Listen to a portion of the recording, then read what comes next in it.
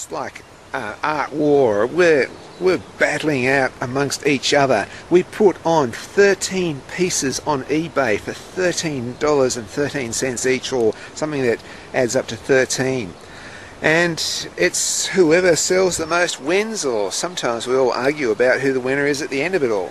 There seems to be a lot of controversy about who won the Friday the 13th challenge.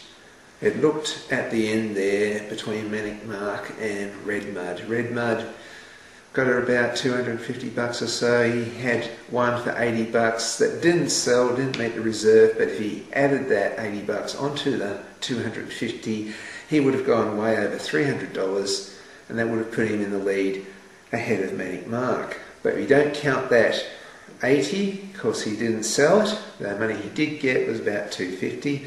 Manic Mark's was over $300, but Manic Mark only put 12 pieces up, and the rules are you're supposed to put 13 pieces up. So you can see it's ended in controversy. But today, I'm here to clear up all the controversy and tell you who won the Friday the 13th challenge.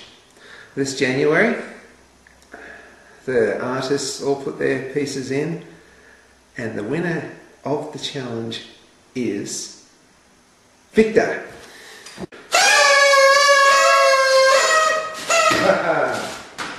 Winner! Manic Mark, you should learn to count to 13. Red Mark, you should have burnt that painting with a of fluid. No good keeping it. Hey, Chicken George, you should have been focusing more on tigers on monkeys.